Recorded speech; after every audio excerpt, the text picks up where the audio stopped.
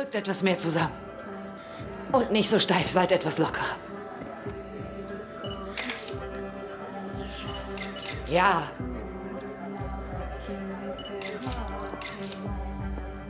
Tut mir leid, dass ich der Reporterin alles erzählt habe.